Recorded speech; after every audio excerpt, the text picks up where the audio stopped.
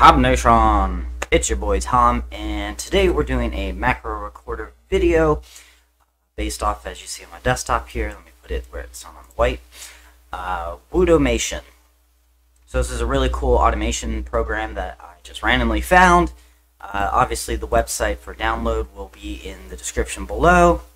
Oh, look at these little adorable keyboards. At least I think they're keyboards. Uh, but yeah, once you're on the website, uh, it's right here, Wootomation. Just click that. Um, it just has some information, including download. This is currently available on Windows and Linux. Obviously, I'm on a Windows computer, so yeah. Once it's downloaded, you do get this little file uh, for install. It's pretty standard install, so just run through that, and you'll end up with the actual application. So let's launch that.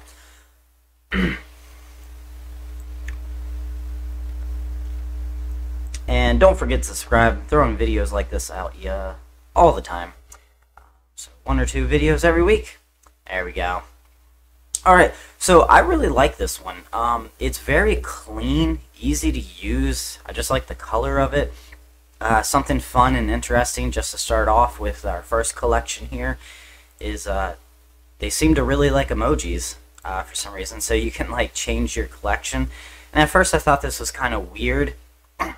But then I realized it's a nice, easy way to kind of like real quick, uh, if you have like a bunch of different uh, collections to see what you're looking at and uh, not have to read. So I did like that actually in the long run. So we can call this, well, let's call this like uh, work. So a collection could basically be like, uh, you can turn collections on and off right here, disable or enable.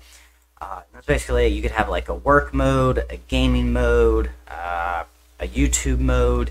It's kind of just a nice way to organize uh, like a folder basically. Uh, so once we're done that, you can always delete a collection. Uh, you can't delete it unless you have more than one, because you have to have at least one. Uh, but you just simply push collection 2, change the icon to whatever you want. Uh, stuff like that. Uh, so we could do like, oh, I thought I saw a robot.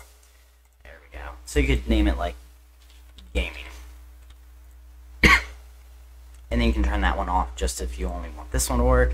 Uh, but we're going to click our first macro here. Uh, it talks about what kind of trigger keys you have. You can set up to four keys or a mouse button. Uh, trigger key is basically a hotkey. So if I press F1, perform whatever actions I'm trying to do. Uh, so you can push record. I'm going to push F1. There it is. You can obviously use uh, modifiers, so like Shift F1 if you want to keep the regular F1 function there. Whatever you want to do, to each his own, but we'll stick with F1, keep it simple. Go ahead, push set, uh, save. You can name it up here. We could call it uh,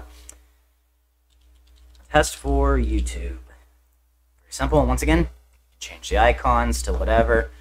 Uh, do the poop emoji. Um, but yeah, you can search for elements here, um, but they are categorized right here. Um, you kind of look around. Uh, you got system events, uh, basic stuff like open a folder. Let's do that. Uh, what's the path? Um, so we can go over here, say open. And let's say we want to open uh, my auto hotkey folder here. So we do that. Pretty simple. Um, so all I got to do really just kind of run through all these, see what you want to do, all that. We can save it. And uh, here's what it looks like on the outside. So this is obviously running. I'm going to push F1. It opened on my second monitor, but there is uh, opening that folder. It's pretty easy. You can turn off specific uh, macros within your collection, you know, whatever you want to do. Um, you can go back and edit. So I'm not going to run through every single thing on here, obviously. Just explore on your own, see what's available. Uh, alphanumeric, uh, that basically is like typing, essentially. So press J. You can change the milliseconds. Uh, full press, which just means down, up, key down, key up. So for example, if I wanted to do, maybe I'm playing a video game, uh, you could do that. You can add a delay, uh, which means basically a break, take a uh, wait a certain amount of time. We could do 5,000 milliseconds, which equals 5 seconds. And then we could uh, take something like this, and um, what was that, J? And instead of that, we'll do up. So right here what we're seeing is it's going to hold J down for 5 seconds and then release it. This is useful in video games especially, stuff like that. You can also just clear all if you want to start over. Uh, numpad, uh, basically all these are the same thing as uh, the alphabet here. You got numpad, uh, functions as the F keys, and modifiers like, uh, you know, modifiers on your keyboard, shift, alt, that kind of stuff. Uh, navigation, also another thing that you're probably familiar with. if You have a full keyboard and mouse buttons, so you can do like a left click. Uh, you can also drag and drop. So let's say I added a few other things here. Um, I'm like, okay, I actually wanted the order to be slightly different. You can do that, uh, whatever. So there's a lot of stuff you can play around with. You can also record. So with recording, I can do like ASD, push stop. It's going to put all that in there. Now it is adding the sleeps on how fast I did it, so you can always adjust those later if you want it to run faster than what you actually just typed. Or just delete the uh, sleep altogether.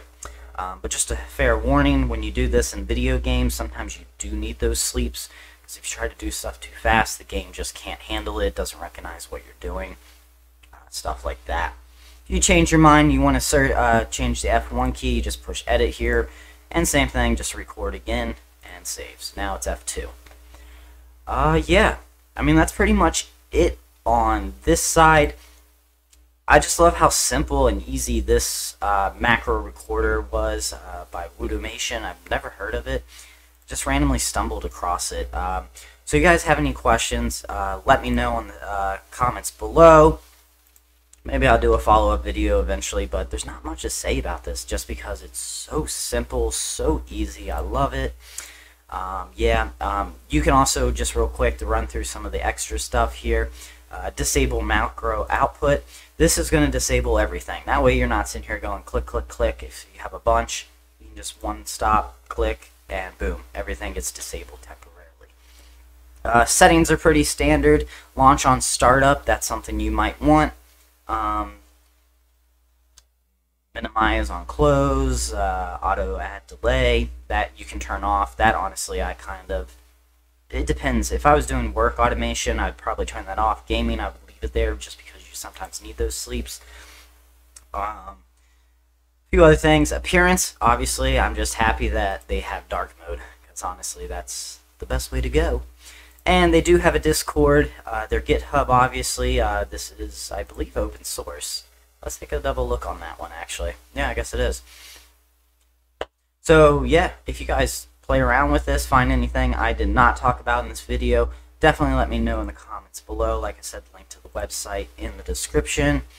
Um, but you can also check here. Uh, macros now work in games. However, we don't support nor induce their use in multiplayer games. Using them such contact or contacts is used at your own risk. I like saying that in my videos a lot of times when I do gaming is don't use this for cheating. Use it for quality of life instead in video games. That's not going to affect other players. Um, so I'm glad they put that there. So shout out to these people. Alright, if you have any questions, like I said, just hit it down below, and I'll see you all hopefully on the next one. Bye!